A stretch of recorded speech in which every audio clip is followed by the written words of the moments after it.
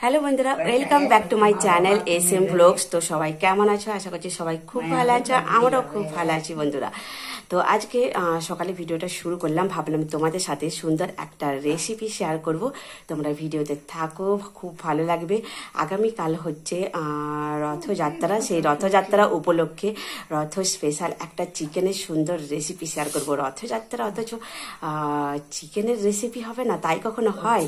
তো চলো একটা আশা করছি এই রেসিপিটা তোমরা রান্না করলে রথের দিন ফ্যামিলির সবাইকে একদম খুশি করতে পারবে।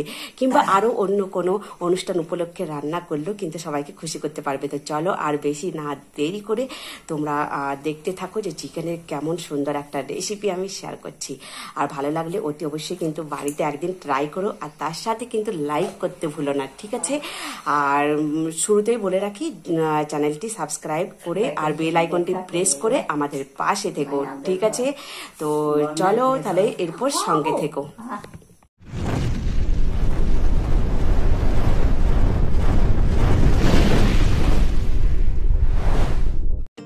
বন্ধুরা দেখো, এখানে নিয়ে নিয়েছি পাঁচশো গ্রাম পরিমাণে চিকেন।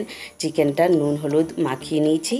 আর এদিকে দেখো, আমি দুশো গ্রাম পরিমাণে ছোট পেঁয়াজ বা যেটাকে ছাঁচি পেঁয়াজ বলে, সেটার আজ রান্না হবে, তাই সেটা ছাড়িয়ে নিয়েছি। এখন এটা মিক্সিতে বেটে নেব। আর এদিকে মশলা নিয়েছি হলুদ গুঁড়ো, লঙ্কা গুঁড়ো, কাশ্মীরি লঙ্কার গুঁড়ো, জিরে গুঁড়ো, আর এদিকে আদা আর রসুন একসাথে পেস্ট করে নিয়েছি। আর যে পেঁয়াজটা বললাম বেটে নেব, সেটাও এখানে পেস্ট করা হয়ে গেছে। আর এখানে দেখো একটা টমেটো কুচো করে নিয়েছি, সেখানে একটা ক্যাপসিকাম কুচো করেছি, আর কয়েকটা গোটা রসুন আর কয়েকটা কাঁচা লঙ্কা। এদিকে তেল গরম হতে দিয়েছি। তেল গরম হয়ে যখন এসে তখন সে, তাতে চিনি আর তেজপাতা দিয়ে পেঁয়াজগুলো ঢেলে দিয়েছি। এখন পেঁয়াজটা ভেজে নিই। পেঁয়াজটা ভেজে নেওয়ার সাথে সাথে সেখানে আমি রসুন, টমেটো কুচো, লঙ্কা কুচো আর সমস্ত কিছু একসাথে দিয়ে ভালো করে এখন নাড়ছি। নেড়ে নেওয়ার পর দু তিন মিনিট, তারপর আদা, রসুন বাটাটা এখানে দিয়ে দিলাম। এটা দিয়েও এখনও আমি আরও তিন চার মিনিট মতো ভালো করে নেড়ে নেব। এরপর এতে যে গুঁড়ো মশলাগুলো নিয়েছিলাম সেগুলো দিয়ে মশলাটিকে এখন ভালো করে পাঁচ মিনিট মতো কষতে থাকব। যতক্ষণ না এর থেকে তেল বেরিয়ে আসছে, তা, তার আগে কিন্তু চিকেনটা দেবো না। যখন দেখেছি তেল বেরিয়ে এসছে, তখন দিয়ে দিয়েছি চিকেন। তো চিকেনটা দিয়ে এটাকে আবারও আমি পাঁচ মিনিট মিডিয়াম আঁচে ভালো করে কষতে থাকব। আর দেখুন আমি একটু জল দিয়েছি, জল দিয়ে নাড়ছি কেননা মশলাটা নিচে লেগে যাচ্ছিল সেই জন্যে তো চিকেনটা আমার কষা কমপ্লিট হয়ে গেছে। এখন এতে আমি দিয়ে দিচ্ছি পরিমাণ মতো জল সেদ্ধ হওয়ার মতো, ঠিক আছে? এটা এখন হালকা আছে সেদ্ধ হবে।